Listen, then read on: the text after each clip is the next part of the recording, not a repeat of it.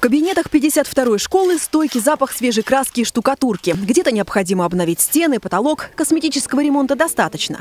В этой просторной комнате еще недавно был музей, но большинство исторических документов оцифровано, и такие площади уже не нужны. Зато появилась возможность воплотить в жизнь задумку учителя технологии.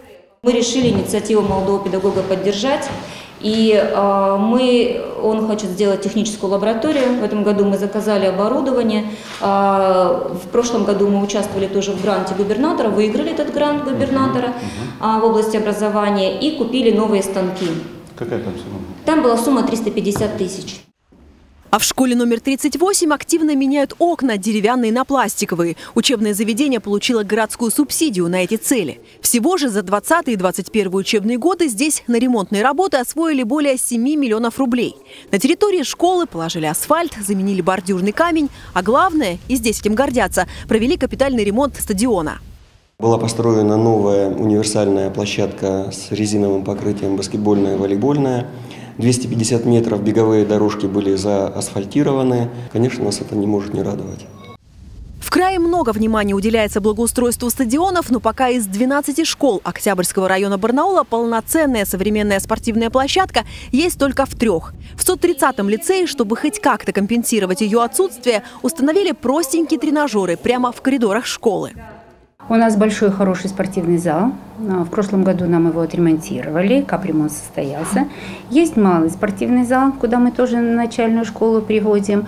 А вот уличные площади, к сожалению, нет.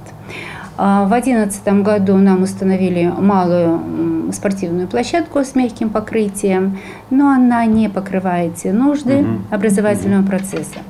Депутат Государственной Думы Александр Прокопьев, лично проверив, как в школах района идет подготовка к новому учебному году, подчеркнул, что пятилетняя программа капитального ремонта школ, которую президент России Владимир Путин поручил разработать, актуальна не только для сельских, но и для городских учебных заведений. Кроме того, депутат предлагает включить в эту программу ремонт и благоустройство школьных стадионов.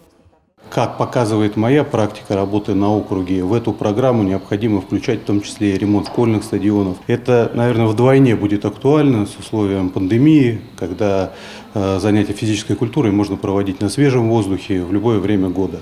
Такое предложение я направил на нашего губернатора Виктора Петровича Томенко и в Минобр России.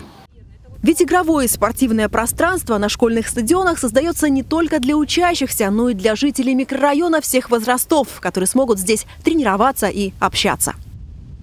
Елена Кузовкина, Андрей Дреер, Андрей Печоркин. День с толком.